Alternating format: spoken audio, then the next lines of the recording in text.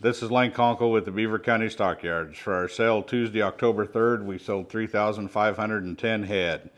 We had 56 yearling steers weighing 913, bring 241. 128 yearling steers weighing 889, bring 242.60. Six yearling steers weighing 718, bring 257. Eight wean steers weighing 602, bring 281. And eight steer calves weighing 504, bring 295. We had 10 guaranteed open heifers weighing eight and a quarter, bring 224. We had three guaranteed open heifers weighing 715, bring 250. We had a limited test on seven oh weight heifers.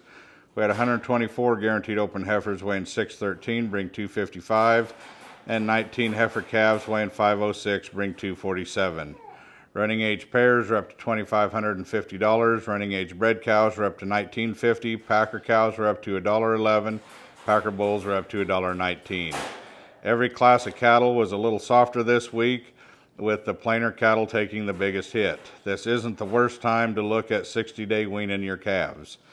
Don't forget our 2023 customer appreciation on November 7th. On November 28th is the Red Angus Feeder and Stocker Special, and on December 9th is the special replacement bred cow and bred heifer sale. The Beaver County Stockyards has a tremendous facility and even better crew. Our cattle quality and buying power are second to none.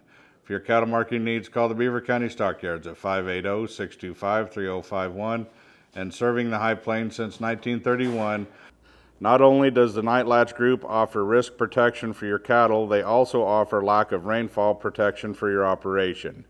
Now is the sign up period for the annual forage insurance program that protects your forage and grazing crops from the lack of rainfall for the next year. Call and find out how the annual forage insurance program would have performed on your operation for the last 20 years. Remember, even wet years have dry periods. Hold on to your ag investment with the Nightlatch Group. Call Andy or Codell Cunningham at 580 334 7995.